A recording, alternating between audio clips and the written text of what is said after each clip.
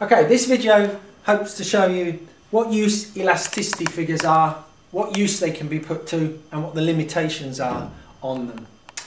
For any question on elasticity you really need to be able to do four things. First of all you need to be able to define the elasticity term that is being uh, questioned. Secondly you must be able to do the calculation. Thirdly you need to explain what the significance of the number that you have come up with is. And for this, you need to do two things. You need to always comment on the sign. Is it a positive or negative number? And secondly, you need to comment on the size. Is the number greater than 1 or less than 1? And finally, once you know what the number is and the significance, you need to say how useful would it be for a business so you need to evaluate normally. You need to come up with ideas as to why it would be useful for a business. And then you need to know something about the limitations of using these figures for a business.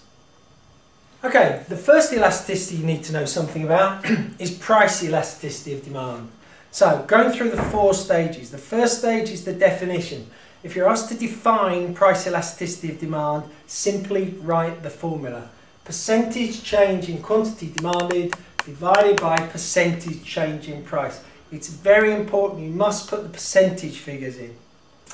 Okay, let's take an example. Suppose last year that a, sh uh, a shop decreased the price of its Apple iPod Nano from £150 to £125. And as a result, sales of nanos increased from 200 a week to 250. It's typical sort of example you need to figure out. Okay, the second stage, you must be able to do the calculation. So, to calculate percentages, the method I use is the percentage is the difference over the original multiplied by 100. Difference over original multiplied by 100. So, the next thing to do is to make sure that you put the information in the formula the right way around. The worst thing you can do is to put it upside down. So we want to work out the percentage change in quantity demanded. In this case, the quantity demanded went from 200 to 250. So the difference is plus 50 over the original, which is the number they sold to begin with, which was 200 and you multiply it by 100 to get the percentage. On the bottom, you have percentage change in price. This time the price fell from 150 to 125. That is minus 25 over the original, which was your starting price, 150, multiplied by 100. If you work this out, 50 over 100 is the same as 1 over 4. So on the top it is plus 25%. And on the bottom, it's that's the same as 1 over 6 multiplied by 100 gives you minus 16.6%. Use a calculator.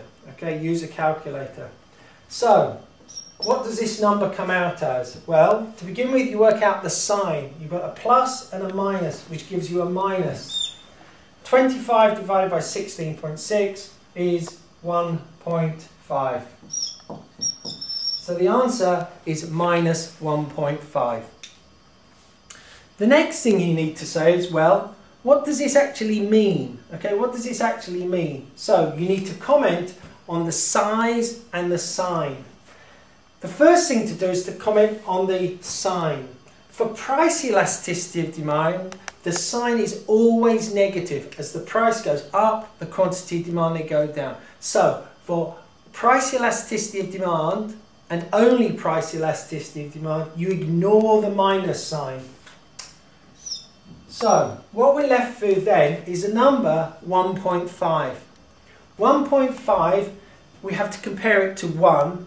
It's greater than 1, Okay, 1.5 is greater than 1, so we say that demand is elastic.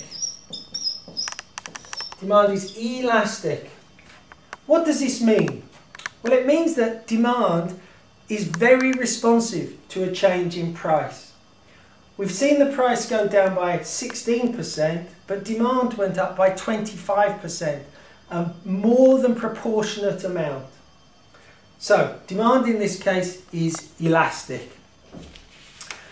You should know what determines whether demand is elastic or inelastic. And really there are three things that determine whether demand is elastic or inelastic. The first is the availability of substitutes. With this figure of 1.5, I would imagine there are quite a few substitutes available. Because if the price went up, quantity demanded would fall by 1.5 times whatever the increase in price was. So there are lots of substitutes. The second thing is the proportion of your income which you spend on a good. This good, with an elastic demand, it's likely to take quite a large proportion of your income. And the third thing that determines it is the time period being considered. In the short run, you may have no alternative but to buy a product, so demand will be inelastic. But given time, you can find alternatives and it would become elastic. So, what use is knowing this? Moving on to the third bit. What use is knowing this figure to a firm? Well, knowing this figure can tell it three things. The first is it will indicate and only indicate the number of substitutes. If it's elastic, more than one, then what we're likely to see is that there will be many substitutes. The bigger the number, the greater the substitute. So the more competitive the market. It tells the firm that it's operating in a market where there's a lot of competition. The second thing it tells them is what happens to its sales. For every 10% they put up the price, they're going to lose 15% of their sales. And the third thing is it shows them the link between uh, changing their price and changes in total revenue. To find out about that, watch the other video, which is dealing with the diagrams to deal with price elasticity of demand. So we know what use it could be to a firm. The last thing, and the thing that you'll get most marks for in the exam, is the evaluation part, okay, the evaluation part. You have to say why the firm should not place too much emphasis on the figure. I said at the beginning that this is what happened when they did it last year. So the question should be, what should the firm do now?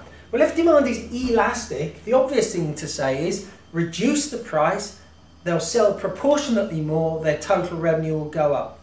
But it happened last year. Things may have changed this year. If they try it again this year, maybe it will not be the same effect. Also, last year they might have got away with it, but this year if they do it, it may well be that other firms who sell nanos will retaliate and they'll reduce their price as well. If that happens, they'll end up saying a similar quantity but at a much lower price, which will not benefit them at all. You can also always question the figure. If you're given a figure, it will almost certainly say in the question that it is an estimate.